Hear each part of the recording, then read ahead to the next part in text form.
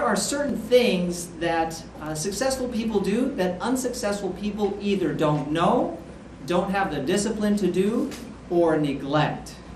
So let's begin with a thought from Michael Dell, who achieved a modest amount of success in, in business.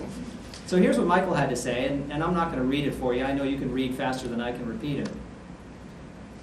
But here's the point that I want to make.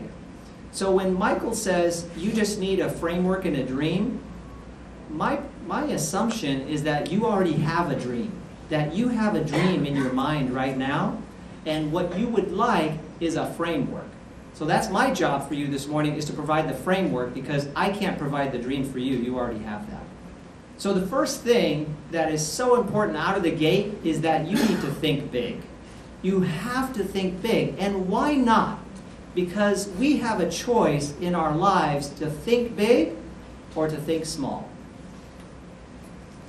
And what I have found and heard and read is that the energy that it takes, the capacity that it takes to achieve our dreams is similar when you think big versus think small.